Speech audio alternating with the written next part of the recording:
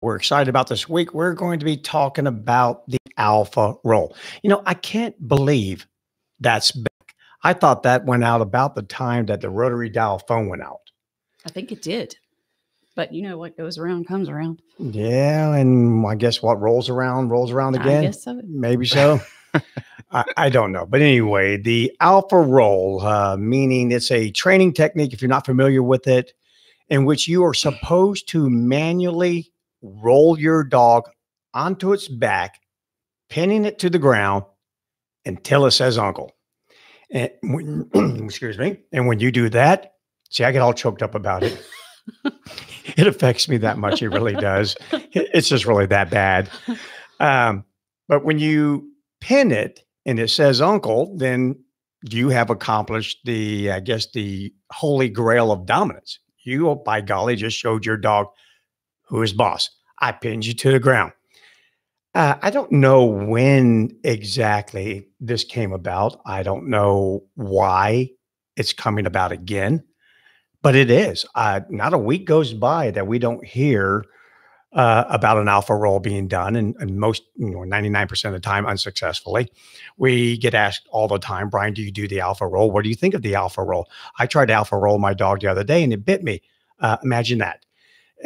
I don't know why. Do you know why, Joshua? I don't. I I have witnessed a theme though. It does seem as though that a lot of people who do take that alpha roll approach do have some level of insecurities. I mean, they they want to take that big bad dominant role with their dog, and they they know they can overpower the dog, so that kind of makes them feel good. I guess I don't know. I it does seem to be a theme of of people who I I see do that kind of thing. But yeah, well, say it like you really mean it, buddy. I, oh, I that's why we're here. That's why we're here. that's what we do. We say it like we mean it. We don't hold punches. We have we have wee thin little filters, but really that's about it. But let's get down to it. Should you alpha roll your dog, or should you not? Uh, right off the bat, I'm just going to say no, absolutely no. Don't even think about doing it. But here's why. First of all, let's go down the list. Dominance, if that's what you're trying to achieve, you may at that moment, achieve it for that moment. But then what's going to happen is your dog's going to go, okay, you got me on that one. But then it's going to hop right up and then it's going to say, if you come come over here by my food while I'm eating, I'm going to bite you in the ass. And that's what's going to happen there. It's not dominance is found within a context. And people really need to understand that. It's not an individual trait, but a reflection of an asymmetrical and dynamic relationship between two individuals that can vary over time and within the context. So, taking that on face value, for example, you may be a very dominating person. You just may have that as your personality. I dominate. That's what I do. However, the issue is is that you may have a boss. So again, at home maybe you're dominant, maybe you dominate your dogs, maybe you dominate your friends and family. But if you work for someone, then you have to submit. And all social groups are reinforced by both submission and dominance, from dominance from the top down, submission from the bottom up. So, therefore, we A should never try to achieve dominance over anyone or anything, including your dog, unless you need it right then unless you have to have it right at that very moment. So you should just not do it. It's um, a, from another perspective. If you try to dominate someone or something for so for a long period of time, then you are doing it outside of immediate needs.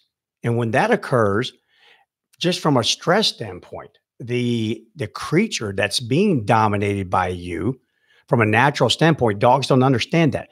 No wolf dominates the entire, the entire pack all day, every day. They don't do it. There has to be some sort of compromising at some level. After all, I'm with you. I'm in this group because I have discerned that there's some benefit that can be obtained by being with you that will improve my own personal fitness. So, in other words, I won't kill you and I won't dominate you all day long because I actually need you so that I can survive. So there's just no need for it. If you do it, it's going to become harmful. You're going to cause your dog to mobilize its stress response hundreds of times per day, which can then physically harm the animal over a long period of time. It no, don't do it. Dominance is found within a context, and you should only dominate if the outcome requires domination to get it done. Meaning, I say, come, you're in the road.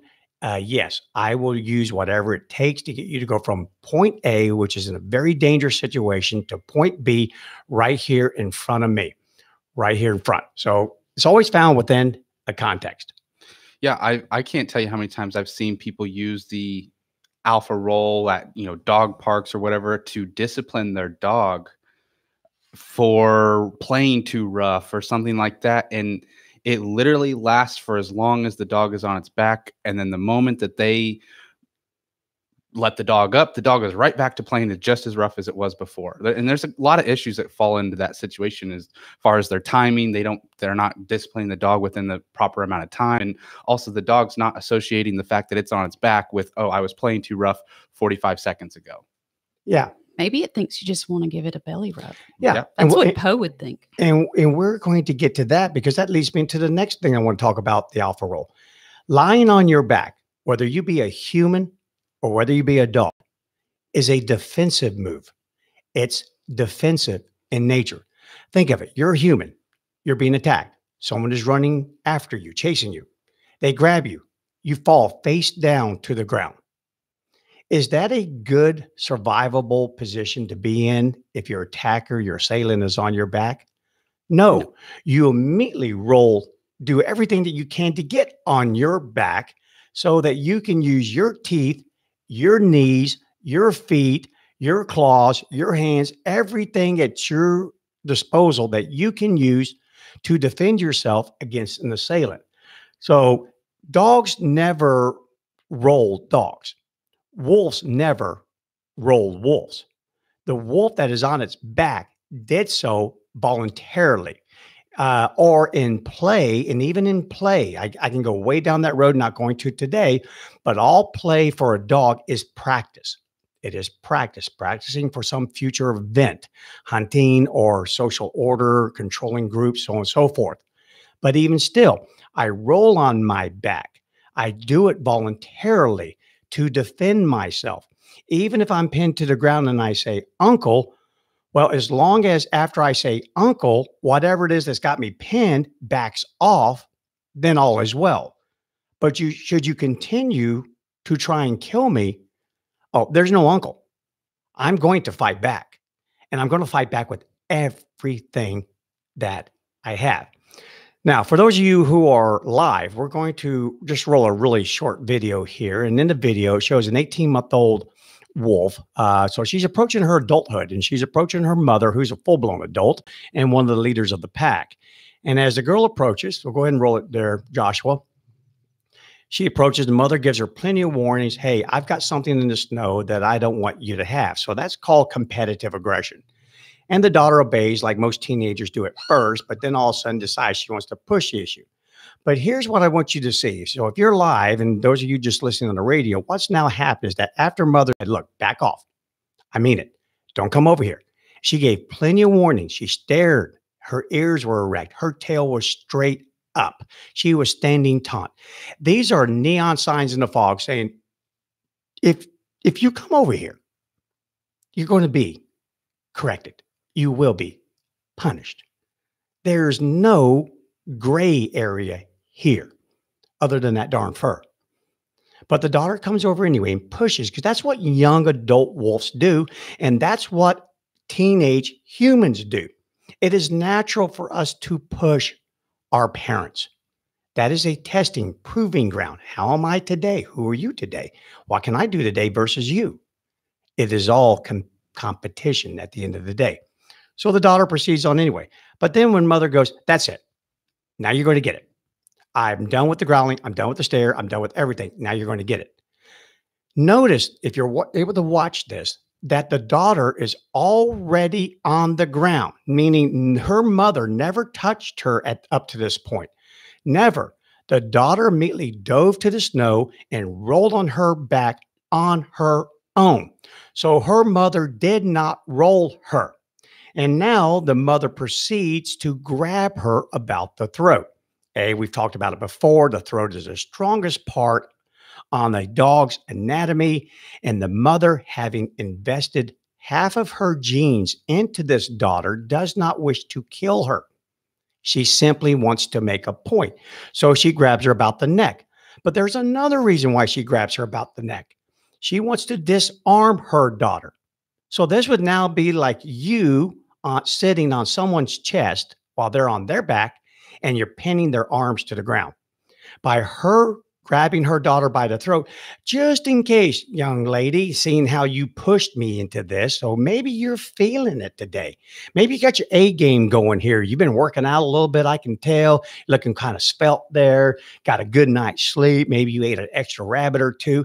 Maybe you're feeling today is the day that I can take, oh, dear old mama. So, mama, just to keep herself safe, disarms her daughter. She pins her by the neck and takes away her main weapon, which is her teeth.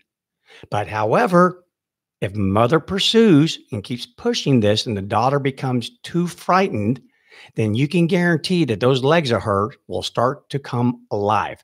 A wolf can rip the entrails out of another wolf on top of it just with their claws. They don't have nail trimmers. They don't go to groomers and get that thing cut back.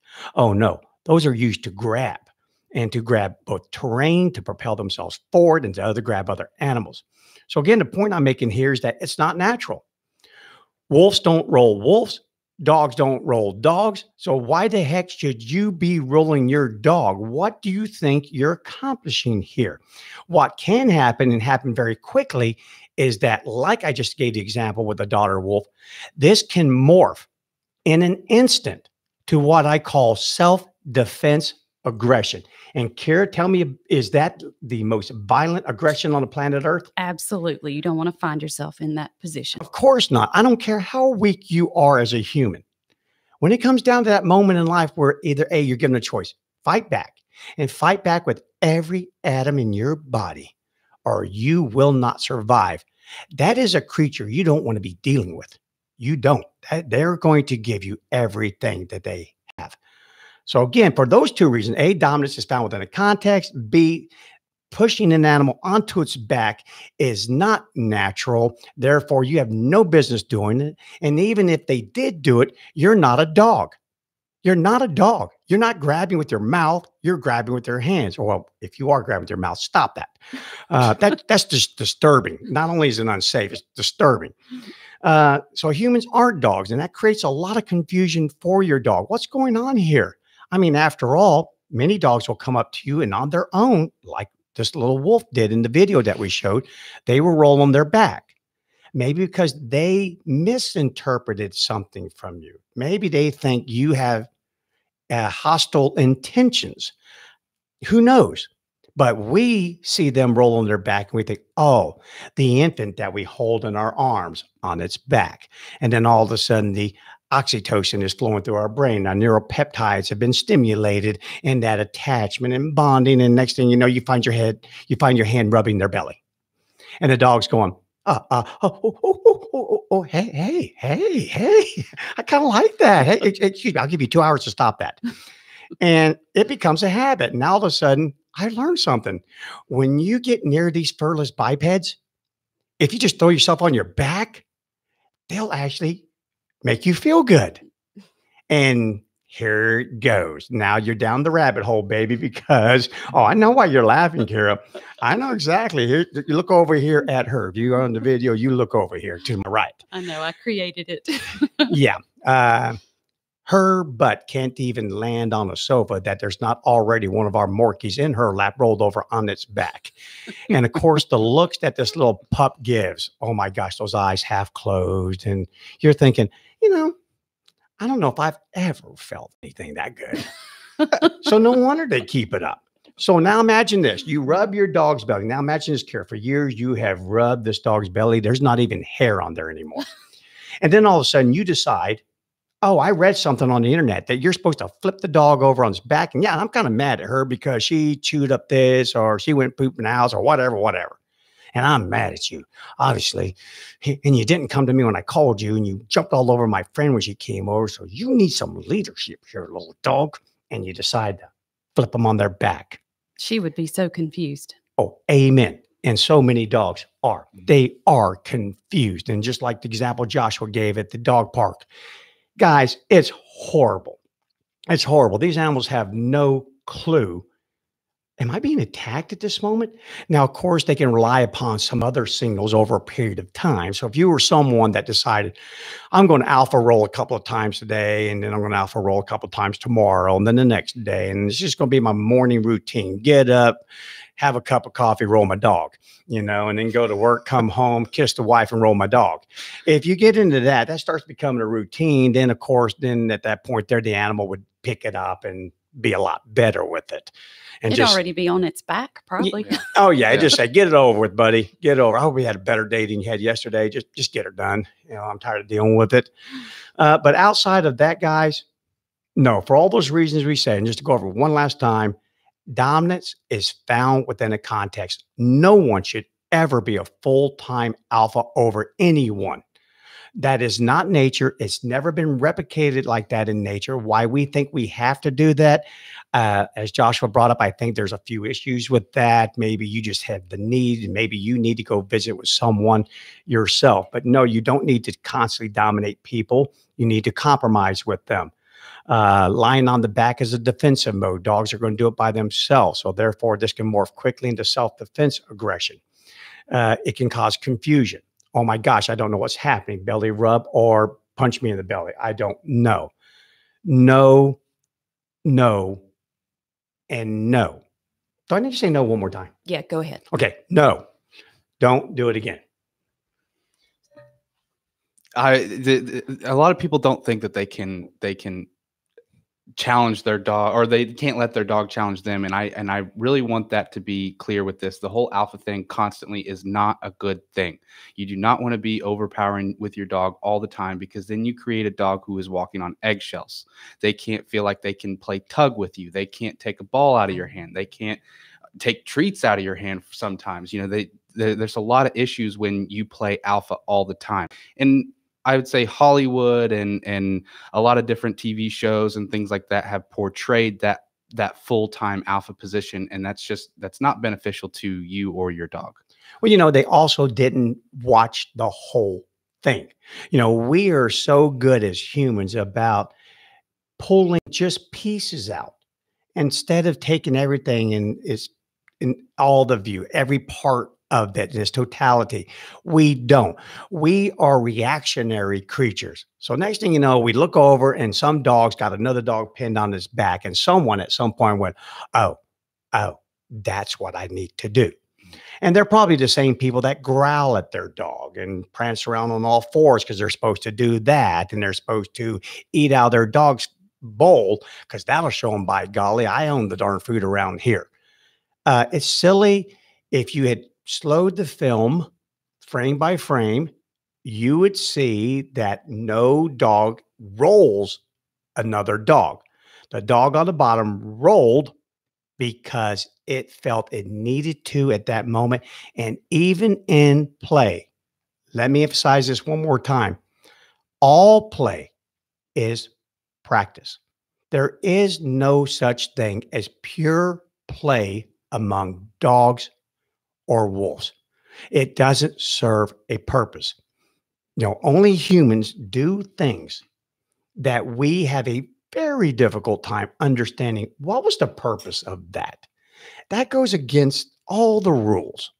But you know what? We're- We're finding out. We're finding out genetic connections, all sorts of things that we'll know a whole lot more a decade from now. I guarantee you that. Well, I I think there's even an argument to be made that even in human play with children and and even into adulthood that they're doing that for a purpose as well to test their own limits to kind of see how they fit in a social group. I mean, anything and everything all games are played through competition in some way shape or form. Yeah. I wonder if we're going to start reading about parents alpha rolling their children. Oh my No, we are not. well, again, okay, now we Well- won't go down there. I tell you what, we are going to do, guys. We're going to take a short break. And then when we come back, we're going to talk about a wolf attack that happened to a family while they were camping up in Canada and explain a little bit how that occurred, why it occurred. And then we've got questions. So if you have any questions, send them in right now. If you're on uh, either Facebook or if you want to send an email, send it to Bryan with a Y at tamingthewild.com. And we'll do our best to answer those questions on this episode. Okay, guys, we're going to take a short break. Uh, sit, stay, and we'll be back in just a little bit.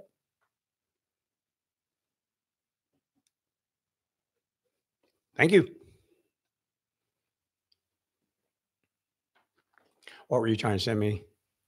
No, are you talking about the text? Yeah. I accidentally I accidentally sent it to you. I Okay. send it to Kira. but I got We've it to her. been having to communicate. oh, Yeah. across me, yes, across the way here.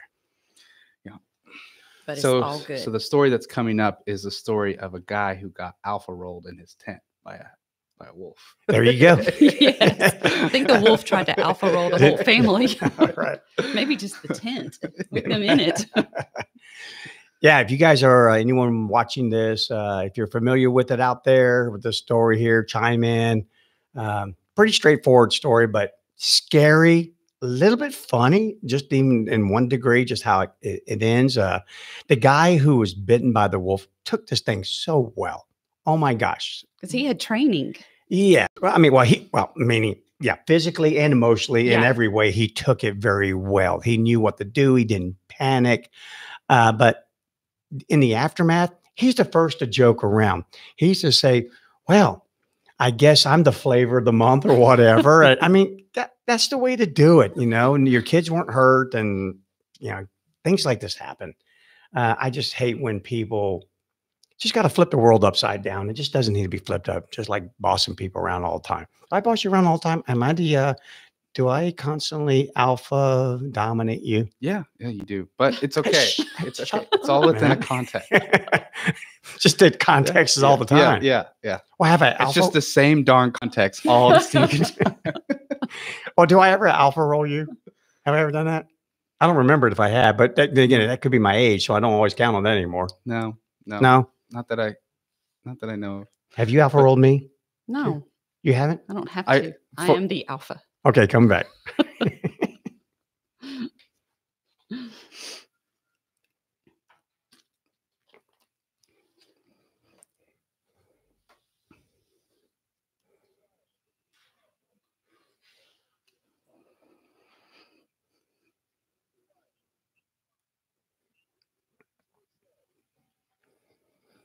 All right, guys, welcome back. Uh, we were talking about the alpha roll, and while we were on the break, uh, Joshua informed me that he believes that I've been dominating him the his entire existence here. Then I had to ask him. I go, did, did I ever alpha roll you? Can you help me remember? Because at my age, sometimes I, like yesterday, I walked into our big training room, and Joshua looked at me and goes, "Yes, may I help you?"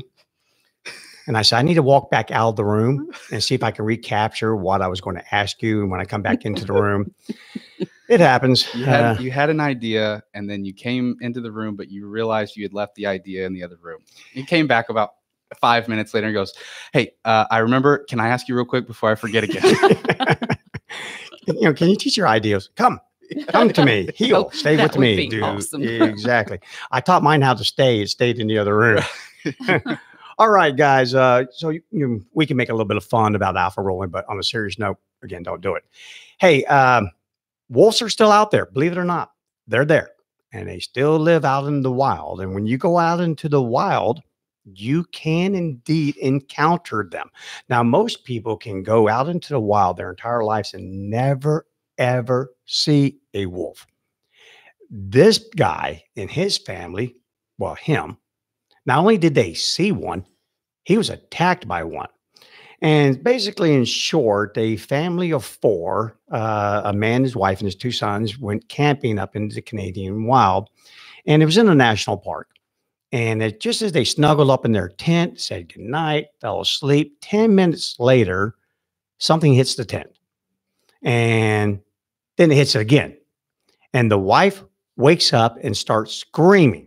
Now, that, that that's bad enough. Imagine a husband laying next to his wife in a tent and she's screaming. you know, especially during the first 10 minutes, you're probably in that REM state at that point there. Yeah. You're, you're, you know, your conscious is just gone. And so again, he wakes up. Oh my God, he's freaked. His wife is screaming in a dark tent. There are no street lights. And something hits him. And he thinks it's a bear. So he starts screaming because bears typically are afraid of humans. And he wanted this animal to know he was a human. So he starts screaming. Well, it didn't go away. It stayed right up against the tent. It's grabbing at the tent. It's biting the tent. So he slugs it. Now this guy's a police officer. So he he lets the creature have it, thinking it's a bear. Uh, but good news was it wasn't a bear. It was a wolf, and it promptly bit the hand that hit him. So again, don't bite the hand that feeds you, but you're clear to go ahead and hammer the hand that bites you. And the wolf did that. So again, he yells and he somehow or another gets his hand out of the wolf's mouth, and the wolf tears the rain fly off the tent. And if you don't know what that is, a lot of times when you're camping in the summertime, it's hot outside. Uh, you'll have mesh tent to keep the mosquitoes away, and you'll put a rain fly over the top of it in case it rains. Well, that got ripped right off. So now he could see his attacker, and it was a wolf. It was only about four feet away, and he screamed. Did it run the wolf off? No. The wolf attacks, comes at him, and again grabs him by the hand again, and he's screaming. And fortunately, a fellow camper nearby hears this, comes out of his tent, rushes over, and starts kicking the wolf. And between his kicking the wolf and the the husband, uh, his name is Matt, uh, kicking back, they were able to get the wolf off of him. Then they threw stones at it, and it ran off.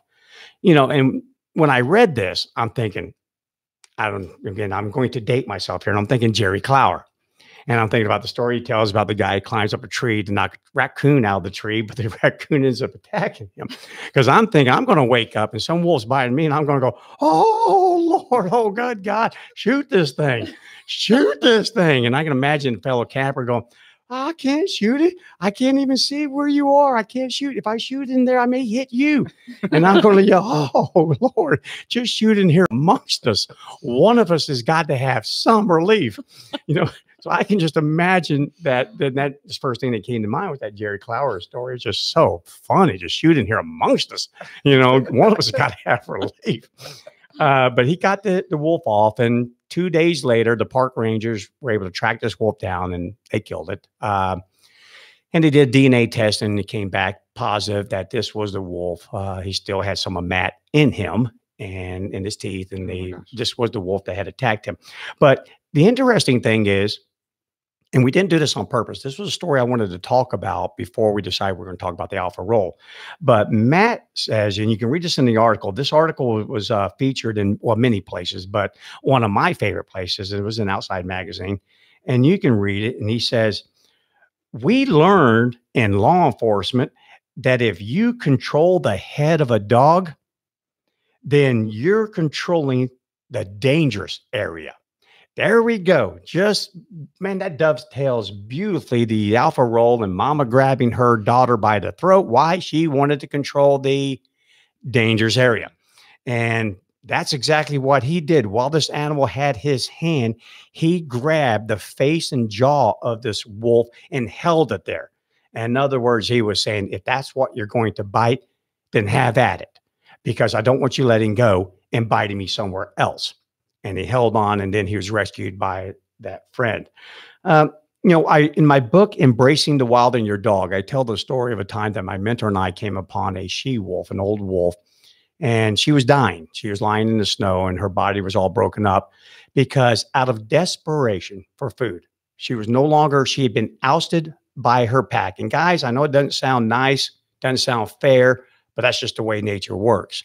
If you can't contribute then you're gone and her offspring had grown to a point where they kicked mama to the curb. Don't know what happened to Papa, but mama was definitely kicked to the curb. And a lot of these wolves will go off and they all end up dying because during the wintertime, you kind of need a little help there. And out of desperation, she tried to take on a full grown adult moose. And that's pretty much suicide. This wolf did the same thing. They found that this wolf was old. It has in, is in very, very poor condition. And that's called desperation. I know there's meat inside those tents. and I'm going for it. And the wolf did. So, you know, you kind of feel sorry for the wolf. You really do. And unless you're mad, then you probably don't feel sorry for it. But again, he took it well. He took it right on the, well, right on the hand, but he handled this thing terrifically. And at the end, he goes, I think I was just, you know, flavor of the month. Uh, just a way to go, Matt. And no, had no um, hard feelings uh, for the wolf. Just sad, like the rest of us, that the wolf was killed. Uh, but it happens. So, guys, if you go out into the wild, you may never see a wolf. But if you do, do me a favor don't approach them. Don't approach them. These aren't the wolves that you see at a zoo. These are animals, and sometimes they have offspring. And feeding the offspring is their priority. Humans have been attacked by wolves, they've been killed by wolves, and they will con- this will continue to happen, especially the more and more we do go out into the wild and the more and more we encroach upon their land and their territories, they're going to feed on us. They used to do it years ago when we first settled this country. In fact, uh, there was a big, almost mass extermination of wolves. They were hunted ruthlessly because three year olds were disappearing from mom and dad's pack, their little family children were being attacked, sheep were being attacked. I mean, you're settling this country and all you own is one cow and two goats. And you wake up the next morning and the thing that provides you milk and the other things that I don't know what the goats goats do. You just raise them, didn't eat them, I guess. I don't know. but anyway, they, they were gone. How much milk do you need? I guess. Okay, whole milk, whatever. So uh, anyway, they decide upon themselves that, all right, take my cow, take my goat, but when you take my three year old, I'm drawing the line there and they started hunting a bunch of wolves. So anyway, just a very interesting story there. If there's any lesson to be learned, um, hey, a take it like Matt did. You know, defend your family. Uh, I'm sure there's another reason he wanted to keep his family safe. Um, in other words, bite me, don't bite my family, and just try to avoid it if you can. But sometimes it's just going to happen. But yeah, this situation seems to be 100% unavoidable. This is just a freak thing that happened. Yeah, and if the neighbor neighboring camper hadn't chipped in, you wonder what the outcome would have been. Right, right. Uh, you really do wonder, uh, unless you have a weapon of some sort. All right, I think it's time to abandon the wolf. And like you said, Joshua, I wonder if the wolf tried to alpha roll him. I don't know. but let's uh let's head into the land of questions because Carrie, you We said we have had some good questions this week. We do. Yes. All right, let's do it. Okay. My dog has been making great progress on heeling while using food, but I'm trying to wean her off of the food, but she quickly loses focus. Any tips? Yep, got a couple of them. Again, anytime we are working with an animal, we always keep in mind attention. What can I do to draw the animal's attention, gain the animal's attention? What can I do to motivate the animal? And does the animal have the cognition that is necessary to learn what I'm trying to teach it? So I'm going to kind of go to the attention part and the motivation at the same time. One of the first things I can tell you to do will be don't be so predictable when you're predictable, you're headed down the sidewalk, you're always headed down the same sidewalk. Well, you both know where you're going. So, therefore, do I really need you? No. So, if you don't have a treat to give me, then I'm just going to check out the dog that I'm passing in the other yard and the dogs are coming toward me and the one that's down there playing with a frisbee. And in other words, I'm going to look at everything but you. Uh, that's what, sorry, it's probably what I would do if I were a dog. But now imagine I'm connected to you and suddenly you turn right. Uh, I wasn't expecting that. Excuse me. What the heck was that all about? Didn't give give a fellow a little warning here next time. But no, exit stage right and you're gone. Uh, do that a couple times. Just make a sudden turn, turn right, turn left, do a U turn. Do that. And now, as far as that will definitely gain the dog's attention. Uh, if you're using a harness, it, you may get some results out of this. I'm not sure if you'll get all the results you're probably looking for. Therefore, I'd go to some sort of corrective collar, whether it be a compression collar or a prong collar. I would use that because then the input from you, the physical input, will not have to be as much. You can get away, you can achieve kind of like a medication. If you use certain combinations, you can achieve efficacy at a much lower dosage through combination. So therefore, making unpredictable turns, then using a corrective collar, and I promise you, this thing will be over within a few walks. I guarantee you. Now, do keep your food with you um, and do what I call a variable reinforcement, meaning every time the dog goes, "Oh, hey, what the heck was that?" and turns around and chase runs back to you because you did a U-turn and catches up and walks next to the heel position. You don't always need to give a reward right then. Uh, anyone who's been to Vegas, does that one arm bandit give you the money every time you pull on it? No, it doesn't. But look how many people go to Vegas and look what got built out of the middle of nowhere desert because of that very reason. A variable reinforcement is always the best reinforcement. And that means on occasion, and especially, especially if you get back to your proper heel position quickly and you can maintain it for a little bit, that's when I'm going to pour on that reward. And, you know, I'm always going to fade out food. I'm Yeah. just one of these people that I don't want to always feel, okay, got to get my leash, got to get my collar, and oh gosh, I don't have any treats. Yeah. Now what happens?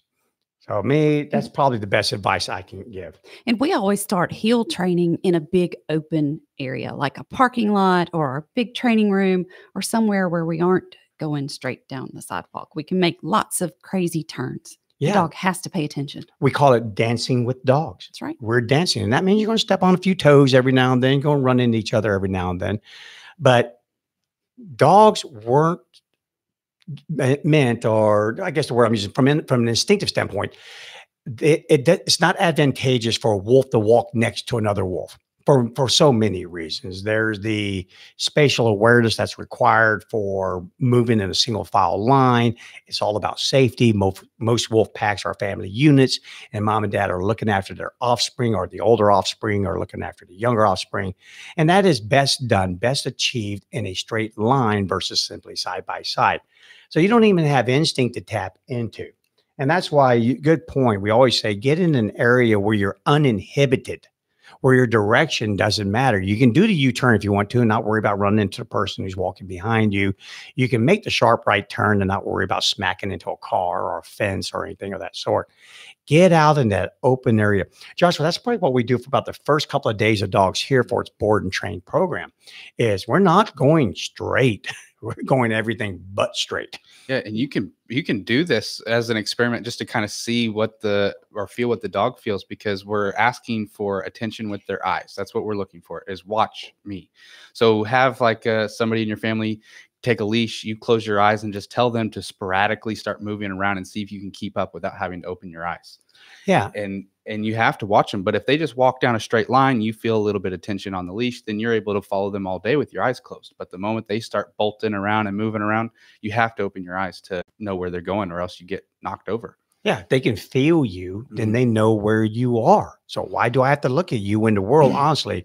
And I'm sorry, um, we, we may think a lot of ourselves as dog owners, but for most dogs, the rest of the world is far more interesting than looking at you. And again, from a natural standpoint, think about where did dogs come from? They come from predators. And if you turned your dog loose in the Alaskan wild in which that wolf bit Matt, guarantee you after a few days, it's going to start reverting back to a wolf, which means you need to be gazing ahead and on the sides, not looking to your right and looking at a furless biped walking next to you over your shoulder. You, most prey is found by wolves through chance encounters, just a random encounter. Wow, there it is. And here I go. And I'm after it.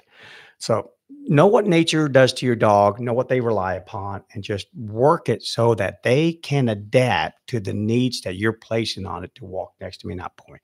That'll get that thing done. There you go. Okay, here we go.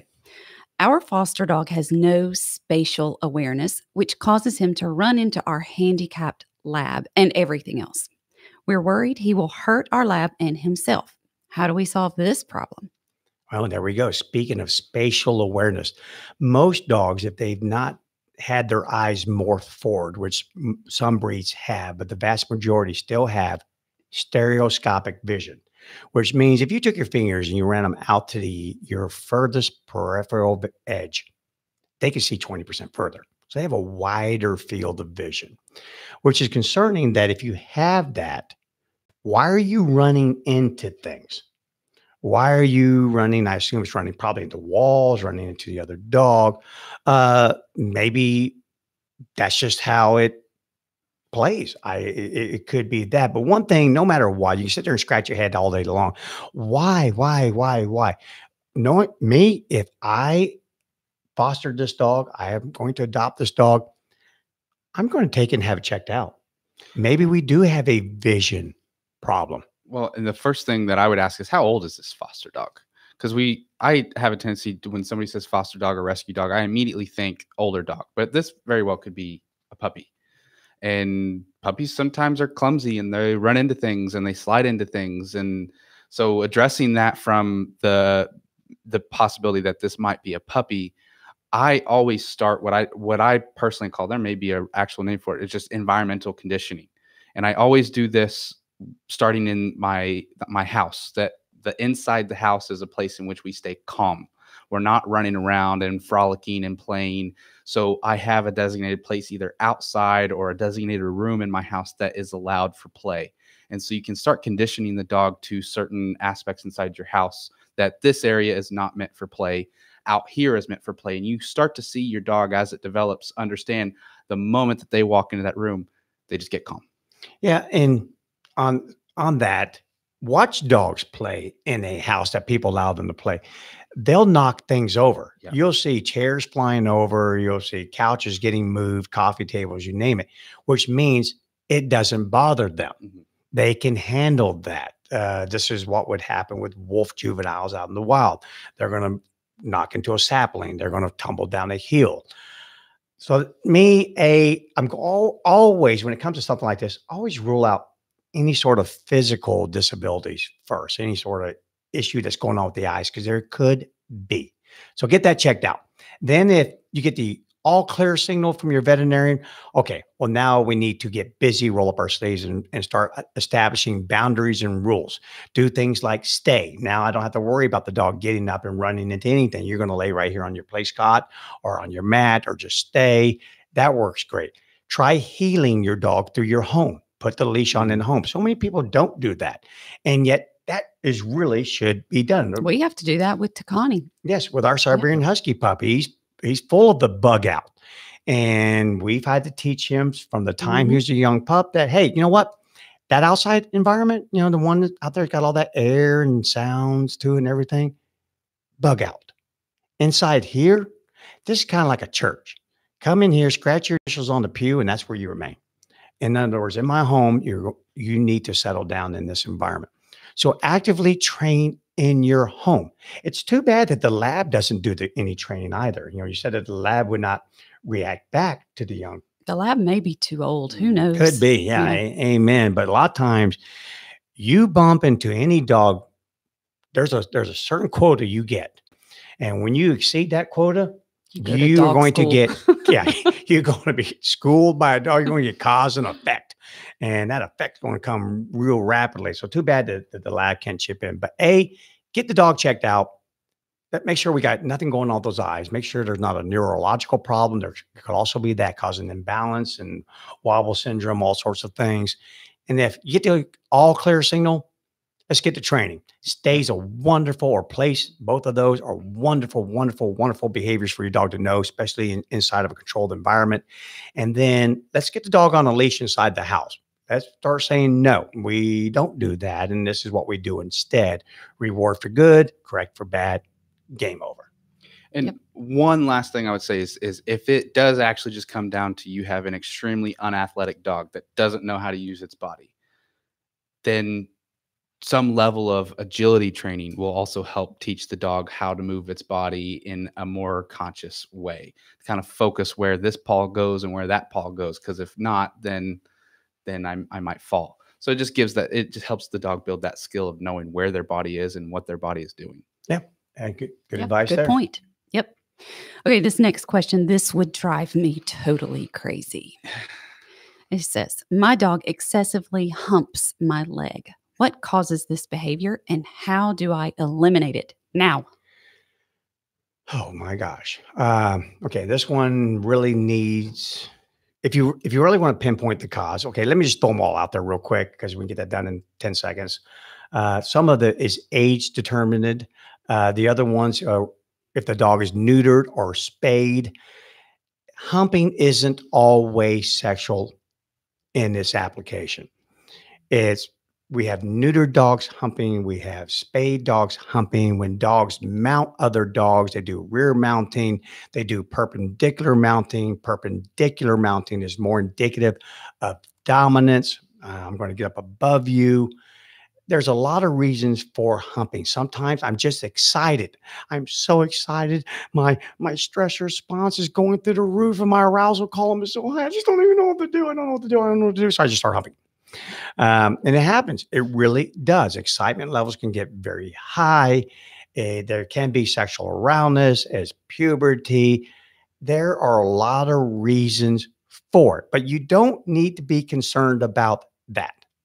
Too many times we stall.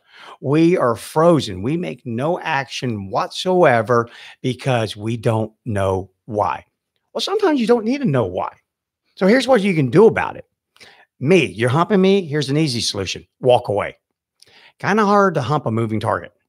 Simply walk away. Say no and mean it. Push the dog off of you. You try to hump me. I'm going to say no and I'm going to push you off. But here's the problem that, that here's why this thing kind of perpetuates itself.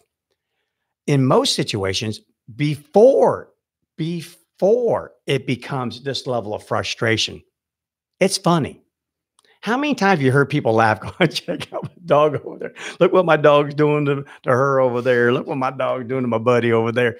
I mean, it's we make fun of it. We we do. And we don't really do anything to stop it. And one thing about dog behavior, if you don't want that behavior happening all the time for the dog's entire life, stop it the second it starts. So don't make fun of it. Get on it right then. No, uh, again, if you had the dog on a leash in your house, actively training your home, off me, off. Snap that leash, push that dog off. Make sure that animal understands quickly that you doing that to me is going to come with a cost. There's a benefit for not, meaning you walk up to me and you don't. Yes, you could get the random one arm bandit treat, variable reinforcement. But here's one thing I can guarantee you you start humping me, whether I'm seated, whether I'm standing, whatever, I'm going to correct you. That's when dominance is found within a context. And that's a context in which I'm going to use it. And the best way to do it is take your two hands, if they're free, push the dog off just like you would for dog jumping on you. Give an auditory signal. Make sure it's stereotyped. We use off. Off. You can say no first and then off, but off should be the main signal that the animal interprets and has a referent to. Off, push the dog off. How hard do you push? The dog will tell you. Start easy. Hey, off. Dog comes right back and starts doing it again. That's your that's the biggest signal I can give you, the dog could ever give you and say, Hey, I don't know what that was, but if it was meant to stop me from humping your leg, well, you need to dial that up a notch and say, Well, thank you for informing me of that, and I'll be glad to oblige and start taking it up. You can use a remote collar too, right? Amen. That's really easy. You know, now you took away all the physical actions on your part. Uh, but again, make sure that you've already, if you're going to use the word off, then make sure you've already done off more than a few times with a leash or your hands. Mm-hmm. So now they understand what off means. And now they associate the signal from the remote collar with the word off. It's just that now the haptic signal isn't hands pushing me off or leash correcting me, it's now an electronic signal. But by golly, that will get it done. That for sure will get it done. And again, same thing like all things. You know, wolves, when they correct wolves and dogs correct dogs, they start. Yeah, I don't care what breed it is, and I don't know how, how much they're prone to aggression. If you really slow the film down and watch it, they will always try something other than contact. Contact, I mean, not from a play standpoint, but from an aggressive standpoint, is risky. So they'll always try something else. In other words, they'll use just enough to immediately stop the undesired behavior and promote the desired behavior. We have to follow those same rules. So if I don't know your dog, your dog's pumping me, I'm just going to go, hey, off. And if it works, great. Awesome. But if you jump on me again and start doing it, yeah, I want, hey, off. I'm to get a little bit firmer about both my actions and my voice. And at some point, you will hit pay dirt. And then here's something important to know. Once you hit that pay dirt, that's where it stays. meaning the next day or the next week, should this same action occur from your dog, don't start all over again. It trained you. It taught you, hey, if it's your personal level three that got the dog to get off of you, that's exactly where you start. Because I guarantee you, you'll only have to go up from there. You, you know, starting all over again is not going to do anything for you. So that'd be my answer. Got it. Okay, I think this is probably the last one we'll have time for today, Okay. but it's a good one. Our dog is terrified of being outside. I've tried everything to boost her confidence, but nothing has worked. And you know what's interesting is that we see this with Poe when her fur has grown too long and she has vision blocked and she doesn't want to go outside. She's afraid. Yeah, these are animals. Uh, gosh, that's why I tell people if you have a breed that has hair in their eyes, pull it back. They learn with their eyes first. You know, and I get people all the time challenge me on that, going, well, you know, I thought it was their nose was the strongest uh, sense in their body. It could be. There's no doubt it is, but that doesn't mean that's what I use first. Meaning you're out in the wild and the wind is at your back, but the bear is at your front. It's your eyes that will save you from the bear. So, therefore, if it's just your nose, you better always make sure in life, no matter where you go, no matter what you're doing, you're doing it upwind. And hey, welcome to canyons, welcome to mountains. It doesn't work like that. That wind swirls all over the darn place. So eyes first. So get the. Your, that's why with Poe, once she can't see, her vision has been obstructed. Then it's going to cause her fear to go outside because she can't see any possible danger lurking up on her. There's a lot of reasons why a dog could be afraid to go outside. You know of one, Josh. Where you experienced that? Yeah. So uh, I have a I have a dog who suffers. From, I think I've mentioned this on the show before. I have a, a dog who suffers from a generalized anxiety disorder, and um, she can hear a firework in July and then be affected all the way until August. So you know, it's she has absolutely no recovery time. It does take some level of intervention for her to get over something. So. Um, last since the last July that we just had, the Fourth of July, a lot of fireworks and whatnot. She's now terrified to go out um, into our backyard. If it's like completely silent, then she she'll make her way out there. But if there's even so much as a lawnmower, like two blocks down, forget about it. So, um, you know, you could take some counter conditioning um, aspects into that. But if the dog's not taking treats, doesn't want to play with a ball, then you're kind of left with only one option. And, and to get her over that, her most recent experiences with the fireworks, I used the Premack principle. And basically, what that is is it's it's a it's a version of positive reinforcement that is used not with the use of a reinforcement of some sort of desired stimulus, but the reinforcement of a desired behavior. So, for instance, I would take her out into the backyard on a leash, and her desired behavior at that time was to bolt back inside. So there was obviously some sort of benefit of getting back inside. So that's what I rewarded her with. I rewarded her with, okay, you can now go back outside. You've earned your right to go back inside. So I'd take her out a little bit further, ask her to kind of coax her back out to a little bit further closer to me, maybe with a little bit of a tension on the leash, a little pressure to come out. And the moment she made it slightly further than she had the time before, she was released to go back inside. And we did that over and over and over again. And what I noticed before we were done was the that she actually started making um, shorter trips halfway to the house and then she would come back and then eventually not all the way to the house at all Yeah. So you're using the escape, where what I wanted all along Mhm. as the reward. Yeah, that's uh de you know, you're desensitizing the animal to Right. being inside and counter conditioning. You would have to do a lot of that. Try to find something very enjoyable to do outside. Now, in the beginning, maybe the dog loves to play ball inside, but outside it may not because if you're terrified, then you're thinking, uh, I could care less about the ball right now. There's something going to attack me and, and hurt me. You have to keep the animal out there for a little bit and you have to slowly work this you know use food out there you know all sorts of things. Just make the outside a very positive experience and this will take time. Be patient okay guys we're going to get ready to wrap up the show next week we are going to talk about does your dog really protect you does it really is that natural for your dog to protect you and we're going to talk about a couple of articles I caught in this little magazine here called uh, The Dogs We Love. And we're going to talk about those articles because there's some really good stuff in there. But man, there's some really bad stuff in there. And of course, we're going to highlight on that during next week. So that'll be our main topic. And then we'll be answering questions as well. Yep. All right, guys. So we've enjoyed this week with you. Hope you got a little bit from it. Hope you stay safe. Don't be rolling anyone or anything. Um, and be safe out there. We'll see you guys next week. If you have any questions in the meantime, send them to us. Bryan with the Y at tamingthewild.com. See ya.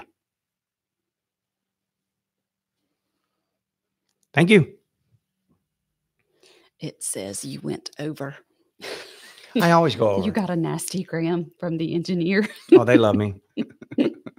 they love me. Yeah, right. See, he was listening on you, Kira. Yeah, they love me, man. I love them too. You know, we we we, we got a good thing going here. About to, Say Thank you. bye. they're about to pull the plug. Yes, they were. It's over, Rover. All right. Well, everyone, thanks for watching live with us. Yeah. Hey, thank you, people. Uh, again, chime in here. We want your input. We want your questions. Send it along. Uh, and if you've got something important, these two don't mind sending an elbow over here at me and shutting me up for a little bit and saying, Hey, I got a question from this listener or viewer. We'll answer that question. I'll do my best to get to it on the show. Perfect. Go tune in next week. It's going to be a lot of fun. I we got a lot to talk about on that. Uh, Oh, there's Where- some, yeah, yeah, where you stuff. think that your dog naturally protects you all the time. My gosh, that is a huge misconception. Yeah, Yeah, I I'll- get it daily. I'll try to find that uh, that I, I watched a news um, report on this where this guy did this test on is your dog actually going to protect you and he faked a robbery into people's homes and it like they went through all these different and all these big bully breeds actually tucked tail and ran to the back door or back room the only dog that actually intervened in an actual attack on her It was a like Westie. it was a little tiny little chihuahua mix Russell, of some, Chihuahua, of, of yeah. some sort latched onto that guy's bite sleeve or bite leg and just start Yeah. it's like oh wow really Yeah, Okay. well, that's why they're called terror. Yeah. you know, when, you, when you're that little and you live in a giant world, you're going to have an attitude, yeah oh You- right. and you got some grit. well Simple when, as that. when also when you're you're held and you're coddled and and you get your way with everything because you know the smaller the dog the smaller the issues so you you think you own this planet Yeah, not only They that, but when you get coddled by that thing and belly rubs and everything, you're thinking, take everything you want from this house, but that. That's mine. I'm keeping that. That that belongs to me, and I swear I will fight you till I die. But you're not taking that. And, and on a serious note, dogs do possess humans, and we'll again. I don't want to give away the whole show. No spoiler alerts or anything. We're going to talk about that next week. We'll have a lot of fun with it. You guys have a great one, and we'll see you then. Take care.